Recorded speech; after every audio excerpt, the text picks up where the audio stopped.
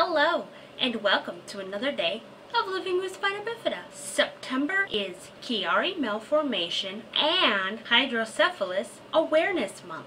Now, being someone who now knows that they have Chiari, I am doing my best to spread awareness throughout the year, not just in September, about the condition. And it's quite obvious to me that I have hydrocephalus, considering when I was born, I got a shunt placed in my head for the hydrocephalus. But being good old Mayo Clinic, I was only informed that I had Chiari malformation after I found out by my own doing. I was looking in my records for something completely different and I came across something mentioning that I had it. So then they're like, oh yeah, by the way, you have Chiari malformation. But they normally don't even let you know unless you're showing severe life-threatening symptoms because they don't want you to turn into this hypochondriac that is looking for problems that aren't there, is basically what I have been told.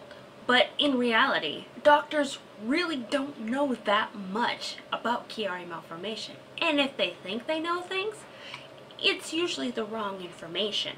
So I am here this month to spread awareness of hydrocephalus and Chiari malformation. Some doctors think that they are both together, where if you have a shunt, then your Chiari is cured. My doctor thinks that. So they won't do anything other than just let me sit here with my problems because I have a shunt, so everything is okie dokie, as you have heard before. But I am here to tell you that that is 100% not true. A shunt will not cure your Chiari. Nothing will cure your Chiari. The decompression surgery will subdue some of the symptoms and help you have a better life, essentially. But there is no cure for either one of these things. There's just things to help it out and essentially help you not die.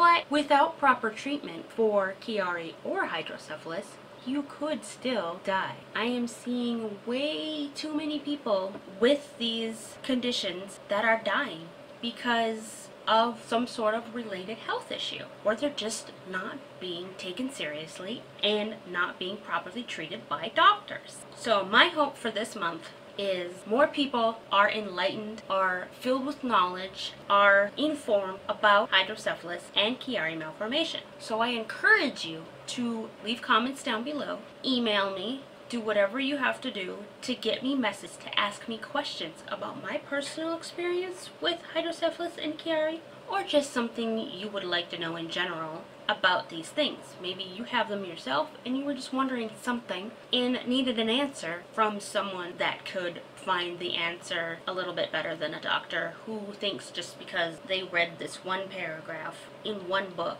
that they know all the answers. Because sadly, doctors don't know it all and they don't have all the answers and sometimes the patient do know better than the doctor. So a patient such as myself, even though I am newly knowledged in Chiari, but I've had so much knowledge thrown at me from the Chiari community that I am so grateful to be part of now that I think I could help out some other people who are just as lost as I still kind of am. So if you are experiencing Chiari or hydrocephalus and would like to know something or other, just ask away. And if you would just like to know something, period, about Chiari or hydrocephalus, just ask away. Now, to answer the question a lot of you are probably asking right now, what is Chiari malformation? Well, for me, it is the thing that changed my life. Not for the good, not for the bad, it just changed it. Suddenly I was a different person living a different life. The last year and a half. It changed how I live my life. It changed how I deal with life. It changed how I feel about life. It changed how I interact with people, family, my friends, my life. It changed it in every aspect. But Chiari malformation are structural defects in the cerebellum, the part of the brain that controls balance. Normally the cerebellum and parts of the brainstem sit in an indented space at the lower rear of the skull. When part of the cerebellum is located below the foramen magnum, it is called a Chiari malformation. So basically, People with Chiari have too much brain for their skull, and it is literally coming out the back of their skull. And also, our skull shapes are different than other people. They have a different shape in the back of it. So when people do have the decompression surgery, it is to lessen the pressure the brain is having because it's too much for the skull. And it causes a lot of health problems. That's my issue right now. All the health problems that is being caused by my Chiari showing its face to the world. But again, I don't have knowledgeable doctors and I am not being taken seriously or treated properly. So I am just learning how to deal as best as I can.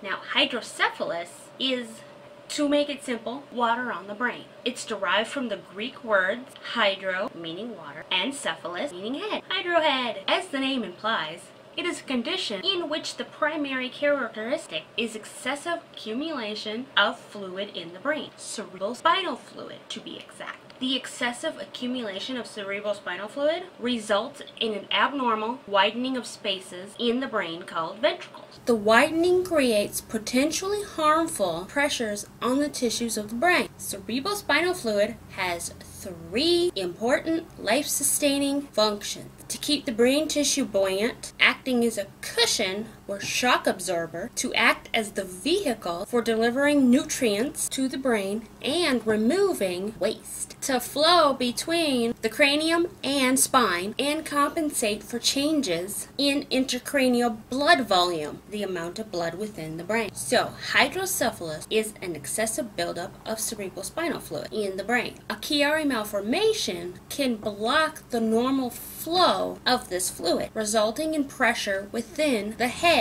that can cause mental defects and or a misshapen skull. Hydrocephalus is commonly associated with Chiari malformation too. But again, having a shunt is not going to cure your Chiari. So really, these two conditions can go together in the same awareness month. And it's good to talk about them together, but they are not essentially one and the same. You don't always have Chiari with hydrocephalus, and you don't always have hydrocephalus with Chiari.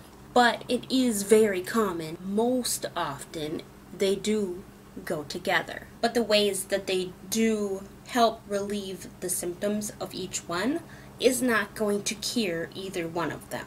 Decompression surgery is not going to cure your hydrocephalus, and having a shunt is not going to cure your Chiari. So, we had a quick reminder about what Chiari and hydrocephalus is, and I will continue to talk about both of these conditions most likely separately throughout the month, and I don't think I will stop talking about them when September ends, but this is just a good time, since it is an awareness month, to bring awareness to these conditions. So, like I said before, if you have questions, ask. That's how you find out answers. And share this video with everyone that you can. And give me ideas of what you want to see within this month. How do you want Chiari and or hydrocephalus portrayed to the world? What do you want them to know? And I will continue putting out things that I want the world to know myself.